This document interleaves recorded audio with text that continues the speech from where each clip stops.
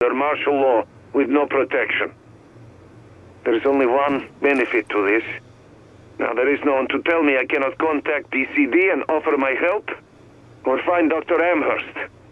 Now I am free. I hope it is not too late.